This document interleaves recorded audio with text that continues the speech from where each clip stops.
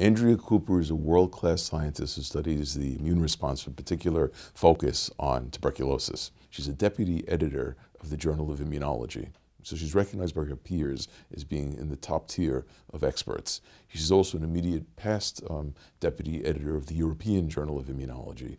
Moreover, she stands uh, uh, as a member, of, a full member of a very important immunology uh, study section reviewing peer-reviewed proposals for the National Institutes of Health. Those are just a couple of issues. So when one sees um, people being invited, such as she, to chair international symposia with regularity, chairing uh, peer-reviewed study sections, and being the head of um, uh, editorial boards. Uh, it's quite impressive. A brand new experience for me. I've really spent 25 years as a, only as a researcher.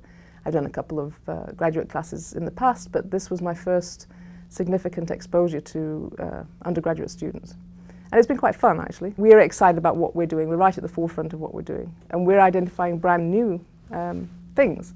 And so the students get excited by that. And they ask the question, well, what about this? Don't we know? And we say, no, we don't know. And so introducing the concept of investigation is very good for the students. We need to push the understanding of the scientific process among the whole population and specifically among ed well-educated um, young people so that they understand that science doesn't have the answers immediately, but it, will, it gets there in a defined and rational way. And I think that's very important currently. So that's, that's my first goal, is to make sure the students understand the scientific method and then to get them so excited about it that they really want to be part of the, the whole process.